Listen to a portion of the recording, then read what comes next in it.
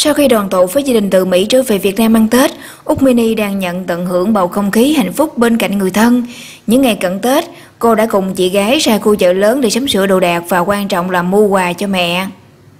Kể từ sau khi có được những thành công nhờ làm YouTuber, Úc Mini đã tự kiếm tiền ra để lo cho cuộc sống.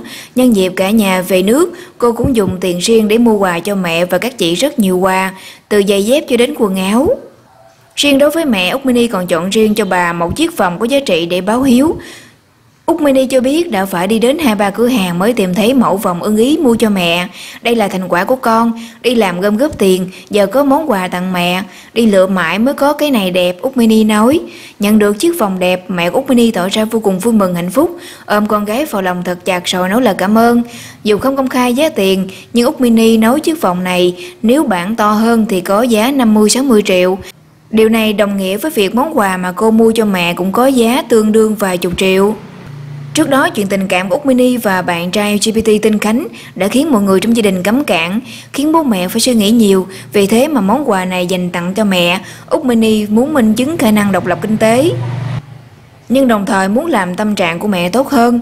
Con luôn làm cố gắng nỗ lực chỉ vì hai chữ gia đình. Cuộc đời con không được may mắn, dù có hoàn cảnh nào con cũng không được phép gục ngã. Chỉ cần mẹ vui gì con cũng có thể làm được.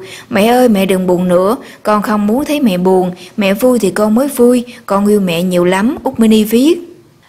Úc Mini từng tiết lộ, từ nhỏ cô được gia đình hết sức cưng chiều, bao bọc như trứng mỏng. Cô cho hay năm đời trong nhà chỉ có bản thân là sở hữu cơ thể khác biệt, nên từ bố mẹ cho đến các chị đều không để mình phải đụng tay vào bất cứ việc gì.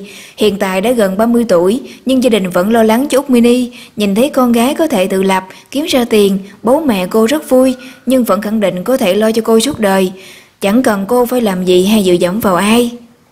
Nhìn thấy mối quan hệ của Úc Mini và mọi người trong nhà tốt đẹp, những ai yêu mến cô cũng vui lây, hy vọng Úc Mini và gia đình sẽ được đón một cái Tết hạnh phúc ấm áp. Cảm ơn các bạn đã theo dõi tin tức của kênh Bật Mí News. Các bạn đừng quên subscribe để nhận những clip và tin tức hay hấp dẫn mỗi ngày nhé. Chào tạm biệt và hẹn gặp lại.